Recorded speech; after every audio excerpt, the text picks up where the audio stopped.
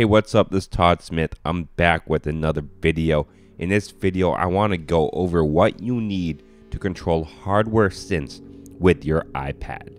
I've done a few videos on this in the past. My setup has since evolved. I've got new things. I very much use the iPad like a Groovebox as the centerpiece of my studio. And with this specific iPad, I only really need MIDI going in, MIDI going out. This is a first generation iPad Pro, so it has audio out on the side, so I can listen to audio directly in that manner. If you have a newer iPad Pro, as you know, they took out the audio jack you're probably going to want to consider something more advanced, something that has a headphone jack and all your audio inputs in there too to cover all your bases. If you're running an older iPad Pro and you want inputs into your iPad, including audio inputs, then you're going to want to think about something bigger like an actual audio interface. If you go the audio interface route, you must get something class compliant and definitely get something that has its own power supply and plugs into the wall. You do not want something that's going to power off the iPad. Like I stated, you have an older iPad Pro and you just need like MIDI in. You can get something simple like the iRig MIDI that you see here in this video. Whether or not you need an audio interface or something simple like an iRig MIDI is really highly dependent on the iPad you get and what you need from it.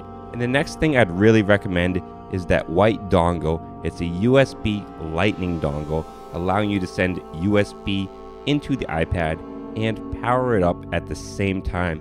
So when you're in the studio, you don't have to worry about the battery and the time length of that situation. So during studio time, I always have my iPad actually plugged in so I just never have to worry about it dying. If you went the audio interface route, you'd you send your audio interface USB into your iPad, and that would handle audio and MIDI.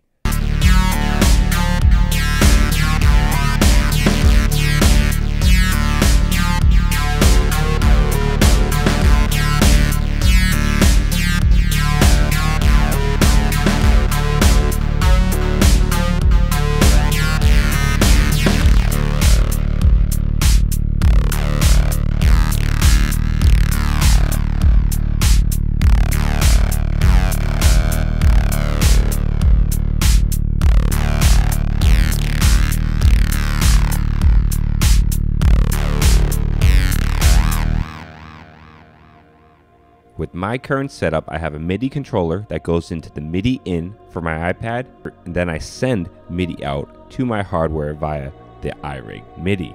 Then if you get a MIDI splitter, you can split your MIDI to as many gear pieces as you want between that splitter and MIDI through. You have a lot of options. So that is really all the pieces you need to get started with iPad MIDI.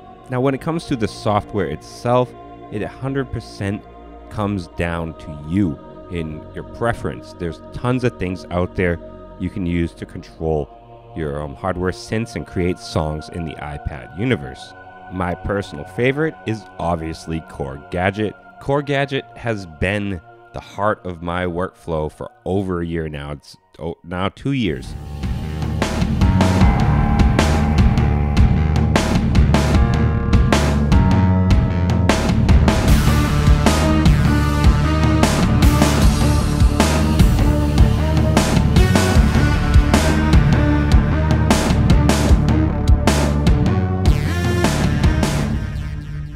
After you have the wires in place, that's really everything you need to start creating music with your hardware and your iPad all together.